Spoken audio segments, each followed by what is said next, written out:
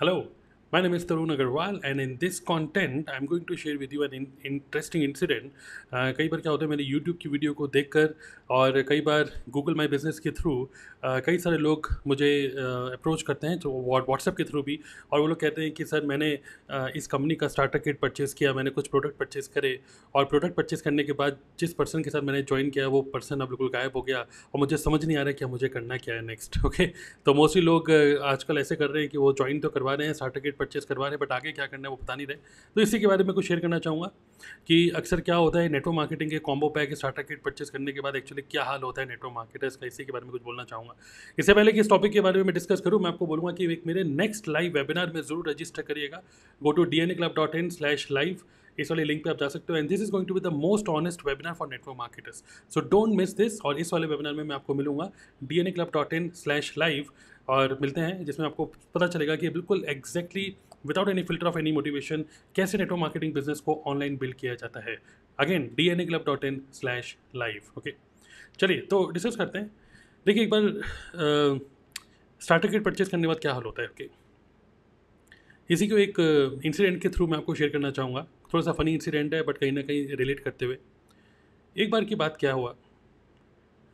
Fictional है okay real नहीं है फिक्शनल एक बार क्या हुआ कि एक आ, बहुत बड़ा कवि सम्मेलन हो रहा था ओके एक इवेंट ऑर्गेनाइज किया गया कवि सम्मेलन। और हुआ कि जब कवि सम्मेलन जिस दिन होना था पूरा कवि ववि सब लोगों का मतलब कर दिया था काफ़ी सारे इवेंट के टिकट बिक चुके थे पाँच सौ पाँच सौ रुपये की उसकी टिकट थी।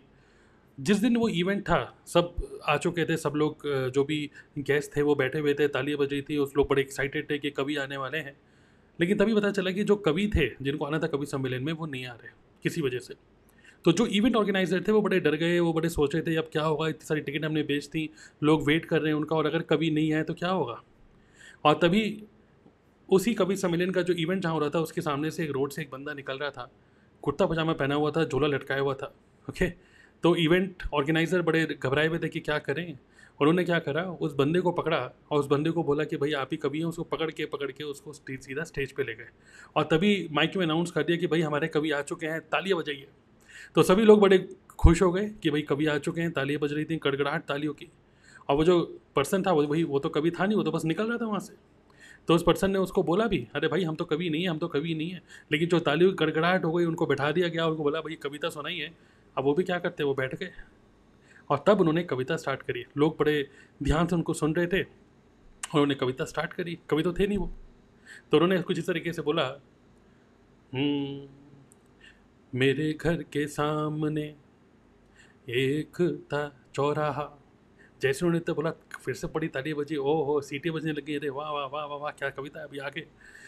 तो इस तरीके से उन्होंने स्टार्ट किया कि मेरे घर के सामने एक था चौराहा। चौराहे के सामने एक था दो राहा फिर से ताली बजाई लोगों ने। दोराहे के सामने पहली गली थी। पहली गली में दूसरी गली थी। दूसरी गली में तीसरी गली थी। तीसरी गली में चौथी गली थी। चौथी गली में पांचवी गली थी। इस तरीके से करे अरे एकदम से इतना फ्रस्ट्रेट हो गया एक ऑडियंस में से एक बंदे ने उठ के बोला, अरे भैया, कितनी गलियाँ हैं? तो एकदम से उस कविता, जो कविता सुना रहे थे कवि, उन्होंने एकदम से बोला, अरे भाई, पूरी तीन सौ छप्पन गलियाँ हैं, कहो तो सुना रहे हम तो पहले ही कह रहे थे कि हम कवि नहीं हैं ओके तो खैर, इसके थ्रू मैं आपको ये समझना चाहता हूँ कि कई बार ऐसा होता है कि नेटवर्क मार्केटिंग में अगर आप कनेक्ट करते हैं इससे कि कविता आती नहीं है, फिर भी वो कविता सुनाने के लिए ज़बरदस्ती बैठाया गया तो कहीं ना कहीं फिर ऑडियंस से गाली तो सुननी ही थी। सेम वे नेटवर्क मार्केटिंग में भी कई सारे लोग नेटवर्क मार्केटिंग को सोचते हैं कि जिस दिन आपने स्टार्टर किट परचेज करी, आपको नेटवर्क मार्केटिंग आपको कविता आ गई, आपको नेटवर्क मार्केटिंग करनी आ गई है but that is not truth the first step is to learn first step is to understand कि कविता कैसे सुनानी है मतलब कि प्लान कैसे समझाना है, लोगों को कैसे अट्रैक्ट करना है, किस तरीके से प्रोस्पेक्टिंग करनी है, किस तरीके से ऑब्जेक्शन को हैंडल करना है, किस तरीके से क्लोजिंग करनी है, ये तो एक, ये तो आपको सीखना पड़ेगा ना। तो मोस्ट ऑफ़ द केसेस में क्या हो रहा है कि ज्वाइन कर रहे हैं, लोग स्टार्टर किट परचेज कर रहे हैं और लोग उनको छोड़ देते हैं कि अपने आप ही काम करो। बट आइडियली आप लोगों को सीखना पड़ेगा। You have to invest your time in learning एक पर्टिकुलर एक लेवल मतलब एक अच्छी जॉब है। एक अच्छी जॉब को लेने के लिए भी कम से कम चार, पाँच साल आप बी टेक की सब चीज़ें भी करते हो।